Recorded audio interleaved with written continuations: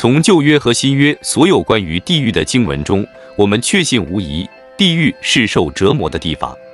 有些人宣扬魔鬼在地狱，而且掌控着地狱，但是不正确的神学观。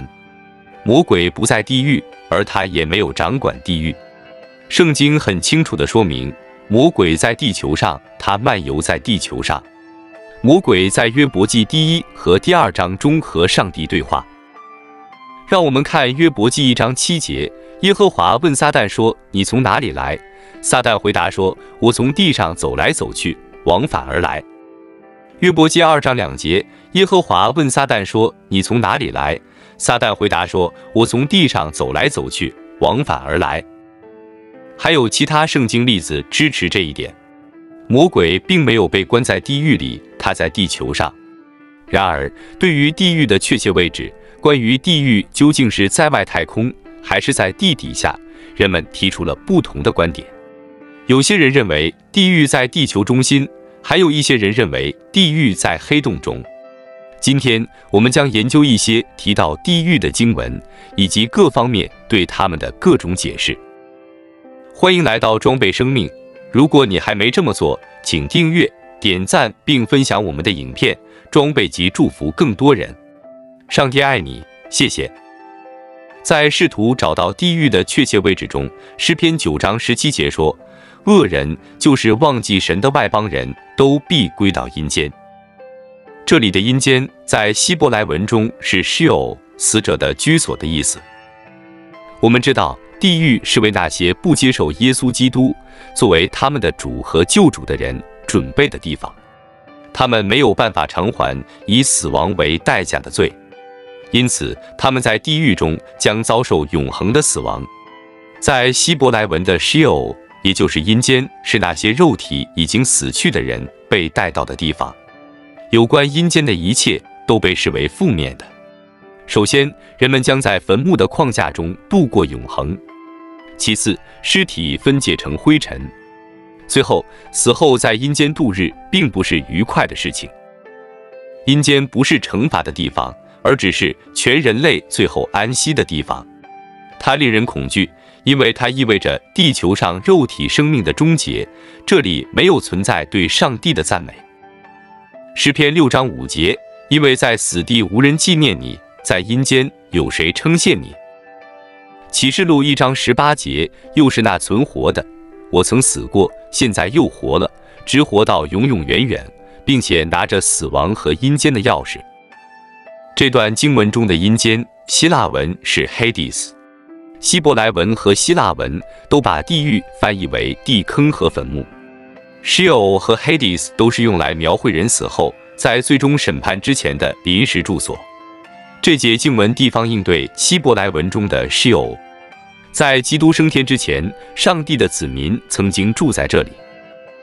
在启示录中，基督宣称他拥有通往阴间的钥匙。此外，在启示录六章八节，我们看到死亡骑着苍白的马，阴间在他后面。启示录六章八节，我就观看见有一匹灰色马，骑在马上的名字叫作死，阴府也随着他，有权柄赐给他们，可以用刀剑。饥荒、瘟疫、野兽杀害地上四分之一的人。另外，在圣经中，经文中的地狱希腊语是 Gina，在新嫩子谷建筑的陀斐特的秋坛，指的是对不敬虔的人进行永恒惩罚的地方。路加福音九章四十三至四十四节：倘若你一只手叫你跌倒，就把它砍下来；你缺了肢体进入永生，强如有两只手落到地狱。入那不灭的火里去。路加福音十二章五节，我要指示你们当怕的是谁？当他拿杀了以后又有权柄丢在地狱里的。我实在告诉你们，正要怕他。托斐特的丘坛是人们向摩洛和巴利神献祭儿童的地方。这个山谷有一个燃烧的垃圾堆，他们会把孩子们扔在那里。圣经在耶利米书七章中谈到了这一点。耶利米书七章三十一节，他们在新嫩子谷建筑陀斐特的丘坛，好在火中焚烧自己的儿女。这并不是我所吩咐的，也不是我心所起的意。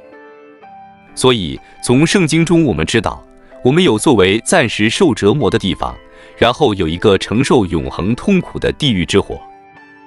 根据启示录，地狱本身将被扔进火湖。启示录二十章十四节，死亡和阴间也被扔在火湖里，这火狐就是第二次的死。有些人相信地狱就在我们下面，可能在地球的中心。他们这样的说法是用耶稣在路加福音所说的来支持他们的主张。路加福音十章十五节，加百农啊，你已经升到天上，将来必退下阴间。他们相信地狱在我们下面。他们的论点是，这就是为什么耶稣说加百农会被推下阴间的原因。此外，在地理上，人们认为地核因为不断沸腾的高山岩浆。而具有巨大的热量，因此可以成为地狱的合适场所。此外，地狱就在我们下面，是因为经文说到交鬼妇人的意象，他看到神从地里上来。撒上二十八章十三节，王对妇人说：“不要惧怕，你看见了什么呢？”妇人对扫罗说：“我看见有神从地里上来。”但是我们不能绝对断定这些经文是直接表明了地狱是在地底。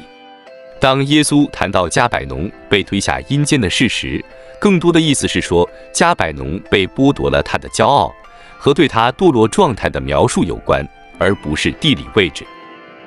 有些人认为地狱位于外太空，可能在黑洞中。这个假设是基于黑洞是非常热的地方的科学知识，但我们不能将我们对地狱位置的信念建立在科学知识之上。彼得后书三章十节，但主的日子要像贼来到一样。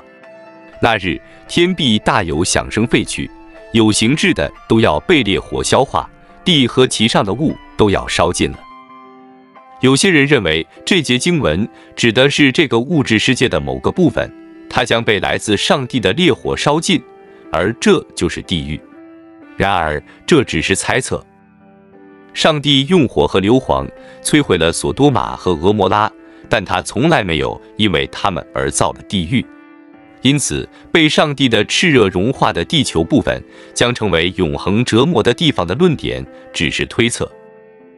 我们所知道的是，地狱是一个真实的地方。莫里斯·罗林斯医生是大学医学院的心脏病专家和医学教授，他因为与一位临终病人的经历而信了基督。有一次，一位病人不断地滚动，呼喊着“我在地狱”。他把经历写成了书。他说：“每当我伸手去拿仪器，或以其他方式中断我对他胸部的按压时，病人就会再次失去知觉，停止呼吸，并再次死亡。每次他恢复心跳和呼吸时，病人就会呼喊‘我在地狱’。他极度恐惧，并恳求我帮助他。我自己也被吓坏了。”事实上，这段经历真的把我吓坏了，甚至我写这本书时都让我感到害怕。病人对我说：“你不明白吗？我在每次你停止做心脏按压时，我都会回到地狱。不要再让我回到地狱了。”结果，我开始狂热而迅速地帮他做心脏按压。此时，患者已经经历了三四次完全失去知觉，并因心跳和呼吸的停止。而临床死亡。做了几个环节的心脏按压之后，他终于恢复知觉。他问我：“我如何才能远离地狱呢？”我想起在主日学校里学到的原则，我相信应该可以用同样的原则。我告诉他：“我想你应该要求拯救你的是耶稣基督。”然后他说：“我不知道该怎么做，请为我祈祷。”我告诉他：“我是一名医生。”而不是传教士，他一直重复的说道：“为我祈祷，为我祈祷。”我知道我别无选择，因为这是一个垂死之人的请求，所以我让他跟着我重复这些话。当时他就躺在地上。这是一个非常简单的祈祷，因为我自己对祷告也了解的不多。我这样说：“主耶稣，我求你让我远离地狱，饶恕我的罪。”我把我的生命交给你。如果我死了，我想去天堂；如果我活着，我将永远跟随你。患者的病情终于稳定下来，被送往医院。我回到家，掸掉圣经的灰尘，开始阅读。几天后，罗林斯医生拿着本子和笔走进他的病人，询问他在地狱的经历。病人不记得这些经历，也不记得自己曾经到过地狱。不过，等他康复后，他变成了一个坚定的基督徒。而在这之前，他只是偶尔去去教堂。然而，他确实记得他们一起说过的祈祷。然后他失去了一两次意识的事。虽然他不记得在地狱的经历，但他确实记得站在房间的后面，看着医疗队在地板上抢救他的工作。他还记得在与医生祷告后，他在死亡经历中见到了他的母亲和继母。结论是，圣经也没有给出地狱的具体地理位置。我们知道地狱是真实的。我们知道这是一个为魔鬼和他的同伙以及所有不敬虔的准备的永恒折磨之地，但是我们不知道它的位置。地狱可能位于宇宙的某个地方，它也可能随上帝所欲的在任何地方、任何形式。我们不要烦恼地狱的位置在哪里，我们应该做的是做好准备，不要成为它的受害者。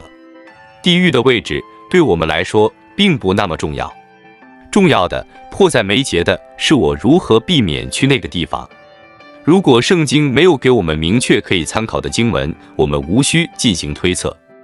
我们今生只知道关于这个世界的一部分，但当末日到来，我们所将知道的比以往任何时候都多。总而言之，地狱是那些不认识上帝也不认识他的宽恕的人的地方。他最初是为恶魔和路西法被踢出天堂时创造的，然而他们不知疲倦地努力把更多的人拉到那里。启示录二十一章八节：唯有胆怯的、不信的、可憎的、杀人的、淫乱的、行邪术的、拜偶像的和一切说谎话的，他们的分就在烧着硫磺的火湖里。这是第二次的死。所有这些都是使人有资格下地狱的原因。地狱是真实的，它是罪人的永恒目的地。任何人一旦进入了地狱，就没有退路。然而，现在我们可以通过接受上帝的救赎计划，通过耶稣基督逃脱地狱。无论地狱在哪里，那都不是让他的受害者感到舒适的地方。在任何时候，我们都应该专注于天堂。以及如何到达那里，任何人都没有充分的理由下地狱。上帝通过我们对耶稣基督的信心，为我们提供了永恒的安排。当我在教堂长大时，我的牧师常常说：“我知道地狱的确切位置，地狱的确切位置就是在拒绝基督生活的那一端。”